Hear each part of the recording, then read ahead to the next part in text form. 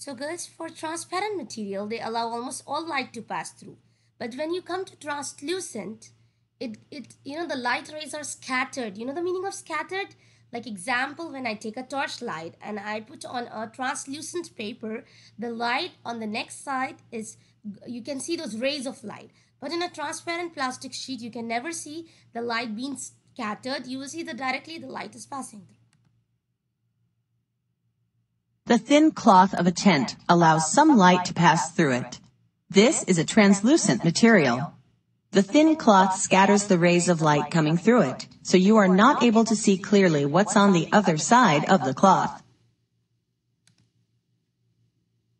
Have you ever wanted to sleep in on a Saturday morning, but light was coming in through your window? What could you do? Well, you could pull down an opaque blackout shade. Opaque material does not let any light through it.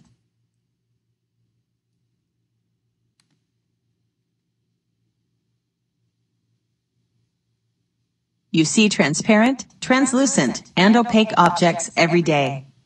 Click the highlighted areas to discover more about these kinds of objects. These safety goggles are transparent. Transparent objects are clear. Items that are transparent allow most light to pass through them. This window is transparent. It allows light to pass through it without the light being scattered. Colored liquid, a curtain, or frosted glass is translucent. Translucent objects scatter light waves. This table is opaque, which means light cannot pass through it. Most objects we encounter are opaque. Opaque objects block light. A spoon, a desk, and a wall are all opaque. Opaque objects will cast a shadow.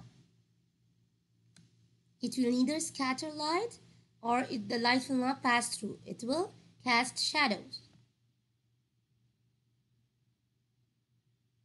Look at these objects. They can be classified by how they interact with light waves. Drag each image to the correct box to indicate whether the object is transparent, translucent, or opaque. So try girls. I remember you all used to come to the board and do this by your own after I have explained. So now today I will do it for you all. Okay, aluminium foil, of course it's opaque. And then a frosted window, translucent. A wood is opaque. Here, thin paper umbrellas. It has to be translucent. Yes. And then fabric, yeah, translucent. Uh, rock is opaque. Glass doors are transparent and drinking glass Great job. Great job. You sorted the objects by the way they interact with light. Translucent objects let light through but scatter the light. Transparent objects let light through them without scattering.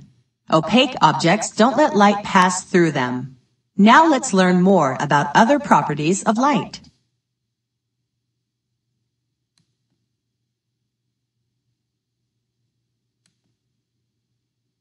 Have you ever wondered why you see your image in a mirror?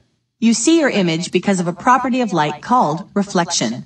Reflection is light bouncing back when light rays hit an object.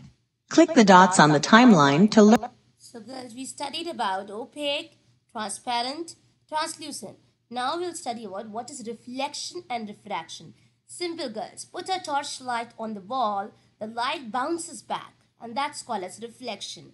Take a bucket of water and put a put the torchlight at the water the the you know the light it goes in different direction. That is refraction. It passes through. It doesn't come back. It doesn't bounces back. And this is what they will explain you in a different manner. Learn more about reflection as a property of light. Why are you able to see the mountain reflected in the nearby calm lake rays of sunlight hit the mountain and are reflected off the mountain The light that is reflected off the mountain hits the water in the lake. The light from the mountain is reflected off the calm lake's surface, allowing us to see the mountain's reflection in the water.